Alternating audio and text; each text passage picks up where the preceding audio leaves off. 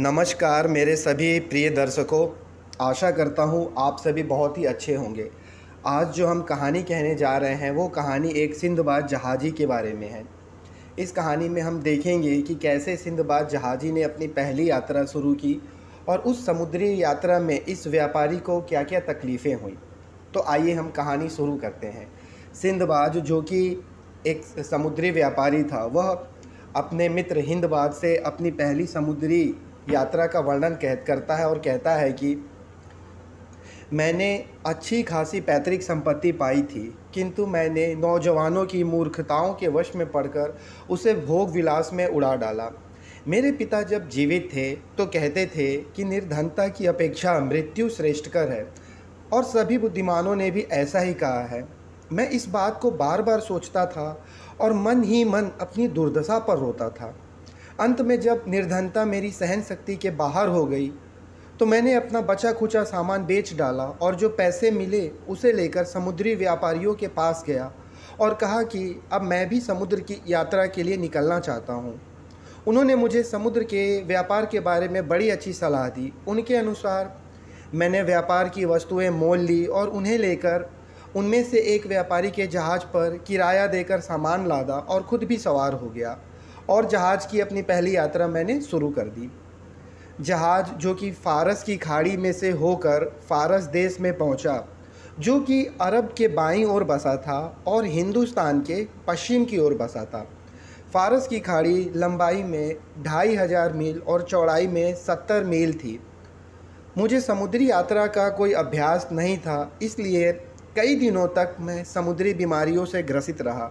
फिर मैं धीरे धीरे अच्छा हो गया। रास्ते में हमें कई टापू मिले जहाँ हम लोगों ने माल खरीदा और बेचा। एक दिन हमारा जहाज़ पाल उड़ाए समुद्र में जा रहा था। तभी हमारे सामने एक हरा भरा समुद्री द्वीप दिखाई दिया। हमारे जहाज़ के कप्तान ने पाल उतरवा लिए और लंगर डाल दिए और कहा कि जिन लोगों का जी चाहे वो इस जीप में सैर करने के लिए जाएँ।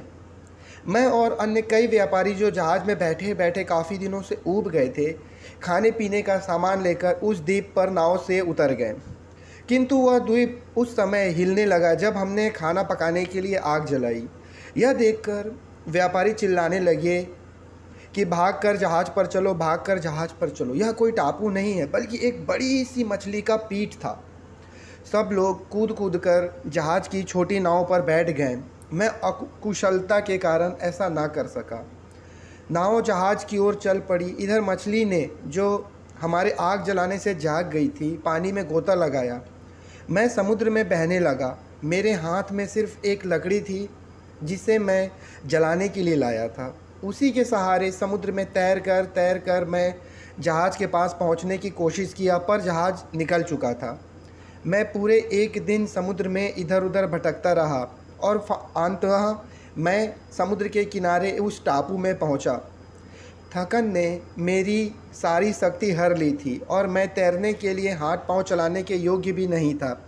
किसी प्रकार मरता गिरता मैं किनारे पर जा पहुँचा, किंतु किनारा समतल नहीं था बल्कि वह ऊबड़ खाबड़ ढलानों से भरा हुआ था। मैं किसी प्रकार मरता गिरता वृक्षों की जड़ों को पकड़ता हुआ ऊपर जा पहुँचा और एक मुर्दे की भांति ज़मीन पर गिर गया। और पता ही नहीं चला कब रात हुई और कब मुझे नींद लग गई। जब सूर्योदय हुआ तो मेरा भूख से बुरा हाल हो गया। पैरों से चलने की शक्ति नहीं रही थी। इसलिए घुटनों के बल घिसता हुआ मैं चल रहा था। सौभाग्य से कुछ ही दूरी पर मुझे पीने का, पानी का एक स्रोत मिला, जिसका पानी पीकर मुझमें जान आई। मैंने तलाश करके कुछ मीठे फल और खाने लायक पत्तियाँ भी पाली, जिससे मैंने अपना पेट भर लिया। फिर मैं द्वीप में इधर उधर घूमने लगा। मैंने एक चरती हुई घोड़ी देखी। वह बहुत ही सुंदर थी, किंतु पास जाकर देखा तो पाया कि यह एक खूंटे से बंधी है। फिर पृथ्वी के नीचे से कुछ मनुष्यों के बोलने की आवाज़ आई। और कुछ ही देर में एक आदमी ज़मीन से निकलकर मेरे पास आया और पूछने लगा कि तुम कौन हो और यहाँ क्या कर रहे हो? तो मैंने उसे अपना सारा हाल बताया। तो वह मुझे पकड़कर तहखाने में लेकर गया। वहाँ कई मनुष्य और भी थे। उन्होंने मुझे खाने को दिया। मैंने उनसे पूछा कि, तुम लोग इस निर्जन द्वीप के तहखाने में बैठ के भला क्या कर रहे हो? उन्होंने मुझे बताया कि हम लोग बादशाह के साइस हैं। इस द्वीप के स्वामी बादशाह वर्ष भर में एक बार यहाँ अपनी अच्छी घोड़ियाँ भेजते हैं ताकि उन्हें दरियाई घोड़ों से गाभिन कराया जा सके। इस तरह जो बछड़े पैदा होते हैं, वो राजघराने के लोगों की सवारी में काम आते हैं। हम घोड़ियों को यहाँ बाँध देते हैं और छुप कर बैठ जाते हैं। दरियाई घोड़ों की आदत होती है कि वह संभोग के बाद घोड़ी को मार डालते हैं। जब वह घोड़ा संभोग के बाद हमारी घोड़ी को मारना चाहता है तो हम लोग तहखाने से निकलकर चिल्लाते हुए उसकी ओर दौड़ते हैं, जिससे कि घोड़ा हमारे शब्द सुनकर भाग जाता है और समुद्र में डुबकी लगा देता है। इस तरीके से हम लोग घोड़ियों को राजधानी में बचाकर ले जाते हैं। मैंने उनसे कहा कि, मैं भी तुम लोगों के साथ चलूँगा, क्योंकि इस द्वीप से तो किसी तरह खुद अपने देश को जा ही नहीं सकता मैं। हम लोग बातचीत कर ही रहे थे कि एक दरियाई घोड़ा समुद्र से निकला और घोड़ी से संभोग करके वह उसे मार ही डालना चाहता था कि साइस लोग चिल्लाते हुए दौड़े और घोड़ा भागकर समुद्र में जा छिपा। दूसरे दिन वे सारी घोड़ियों को इकट्ठा करके अपने राजधानी में आए। मैं भी उनके साथ चला गया। उन्होंने मुझे अपने बादशाह के सामने पेश किया। उसके पूछने पर मैंने अपना सारा हाल उसे बता दिया। उसे मुझ पर बड़ी ही दया आई। उसने अपने सेवकों को आज्ञा दी कि कि इस आदमी को आराम से रखो। अतः मैं सुख सुविधा पूर्वक रहने लगा। मैं वहाँ व्यापारियों और बाहर से आने वाले लोगों से अक्सर मिलता रहता था, ताकि कोई भी मनुष्य ऐसा मिले जिसकी सहायता से मैं बगदाद वापस पहुँच सकूँ। वह नगर काफ़ी बड़ा और काफ़ी सुंदर था और प्रतिदिन कई देशों के जहाज़ उसके बंदरगाह पर लंगर डालते थे। हिंदुस्तान तथा अन्य कई देशों के लोग मुझसे मिलते रहते थे और मेरे देश की रीति रस्मों के बारे में पूछते रहते थे और मैं उनसे उनके देश के बारे में पूछता था। बादशाह के राज में एक सील नाम का द्वीप था। उसके बारे में मैंने सुन रखा था। वहाँ से रात दिन ढोल बजने की ध्वनि आया करती थी। जहाजियों ने भी मुझे बताया था कि वहाँ के मुसलमानों का विश्वास है कि सृष्टि के अंत काल में एक अधार्मिक और झूठा आदमी पैदा होगा जो दावा करेगा कि मैं ईश्वर हूँ। वह काना होगा और गधा उसकी सवारी होगी। मैं एक बार वह द्वीप देखने भी गया था। रास्ते में समुद्र में मैंने विशाल काय मछलियाँ देखी। वो सौ सौ हाथ लंबी थी, बल्कि उनमें से कुछ तो दो दो सौ हाथ लंबी थी। उन्हें देखकर डर लगता था, किंतु वह स्वयं इतनी डरपोक होती थी कि तख्त की आवाज़ आने पर भी भाग जाती थी। और एक तरह की मछली मैंने देखी, उसकी लंबाई एक हाथ से अधिक, किंतु उसका मुँह उल्लू का सा था। मैं इसी प्रकार बहुत समय तक सैर सपाटा करता रहा। एक दिन मैं उस नगर के बादशाह पर बंदरगाह पर खड़ा हुआ। वहाँ एक जहाज़ ने लंगर डाला और उसमें कई व्यापारी वस्तुओं को गठरिया लेकर उतरते मैंने देखा। गठरियाँ जहाज़ के ऊपर तख्ते पर जमा थी। और तट से साफ़ दिखाई देती थी। अचानक एक गठरी पर मेरी नज़र पड़ी, जिस पर मेरा नाम लिखा था। मैं पहचान गया कि यह वही गठरी है जिसे मैंने बसरा में जहाज़ पर लादा था। मैं भागकर जहाज़ के कप्तान के पास गया। उसने समझ लिया था कि मैं डूब चुका हूँ। वैसे भी इतने दिनों की मुसीबत और चिंता के कारण मेरी सूरत बदल गई थी, इसलिए वह मुझे पहचान ना सका। फिर मैंने उससे पूछा कि यह लावारी सी लगने वाली गठरी कैसी है? उसने कहा, हमारे जहाज़ पर बगदाद का एक व्यापारी सिंदबाद था। हम एक रोज़ समुद्र के बीच में थे, एक छोटा सा टापू हमें दिखाई दिया और कुछ व्यापारी उस पर उतर गए।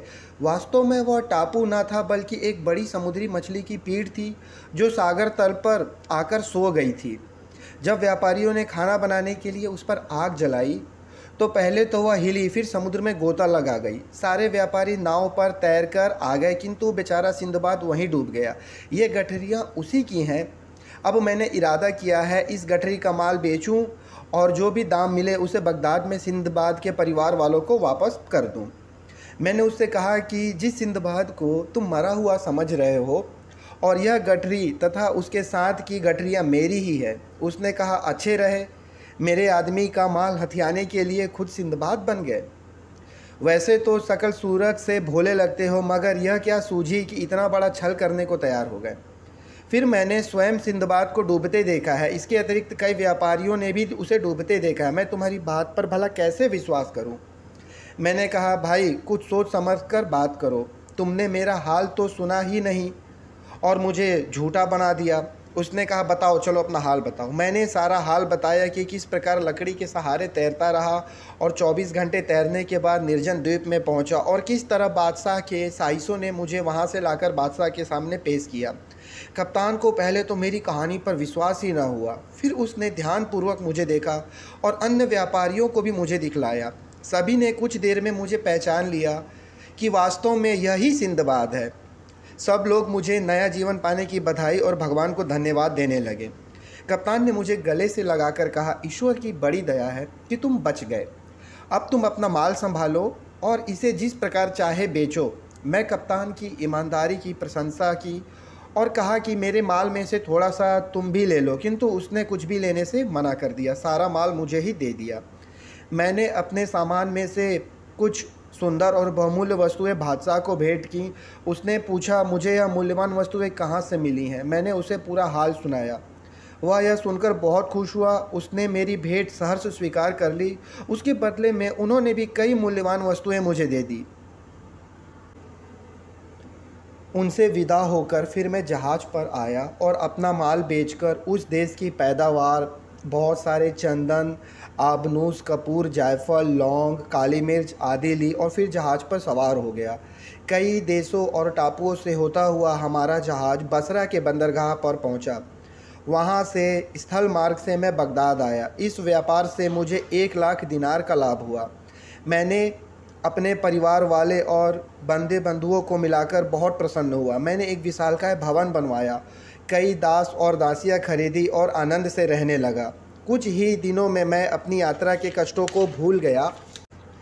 सिंदबाद ने इस तरह अपनी पहली कहानी पूरी करके गाने बजाने वालों से, जो उसके यात्रा वर्णन के समय चुप हो गए थे, दोबारा गाना बजाना शुरू करने को कहा। इन्हीं बातों में बहुत रात हो गई थी। फिर सिंदबाद ने अपने नौकर को कहा कि 400 दिनार की थैली लेकर आओ। और वो नौकर से 400 दिनार की थैली लेकर हिंदबाज को दे दिया और हिंदबाज से कहा, अब तुम अपने घर जाओ, कल फिर इसी समय आना तो मैं तुम्हें अपनी समुद्र की दूसरी यात्रा का वर्णन सुनाऊँगा। हिंदबाज ने इतना धन पहले कभी नहीं देखा था। उसने सिंधबाज को बहुत ज़्यादा धन्यवाद दिया। उसके आदेश के अनुसार वह अपने घर चला गया और दूसरे दिन का होने का प्रतीक्षा करने लगा। तो मेरे प्यारे दोस्तों, आपको हमारी सिंधबाद जहाज़ी की पहली यात्रा कैसी लगी? प्लीज़ हमें कमेंट करके बताएँ। अगर हमारी कहानी में कुछ कमियाँ हैं तो हमें प्लीज़ कमेंट करके बताएँ ताकि हम उसे सुधार कर सकें। और आपको हमारी कहानी अच्छी लगती है तो प्लीज़ लाइक करें, चैनल को और सब्सक्राइब करें, और ताकि हम और भी अच्छी अच्छी कहानियाँ आपके लिए ला सकें। और दोस्तों, अगले भाग में हम देखेंगे और जानेंगे कि सिंधबाज की दूसरी यात्रा क्या है और उसको उस यात्रा में क्या क्या तकलीफ़ हुई दोस्तों। ठीक है दोस्तों, नमस्कार।